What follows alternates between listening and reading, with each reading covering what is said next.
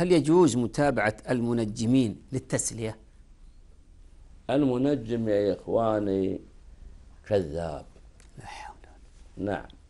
الذين يطلعون في النجوم ويستدلون بحوادث النجوم على الحوادث الأرضية هؤلاء كذابون لا يجوز تصديقهم. والإنسان الذي يعمل عمل يعني يبغضه الله ويحرمه رسوله صلى الله عليه وسلم لا يجوز أن نتسلى به لأن المؤمن يا إخواني يرضى بالطاعة ويحب الطاعة ويستأنس بالطاعة ويبغض المعصية. أما الواحد يتسلى على المعصية ما يجوز.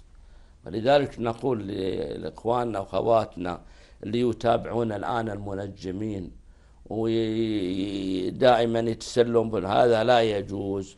والمنجم هذا الخراص الكذاب هذا لا يجوز أن تتابعه ولا أن تعطيه جزءا من وقتك وأنت تعلم أن الله تعالى لا يحب عمله. نعم.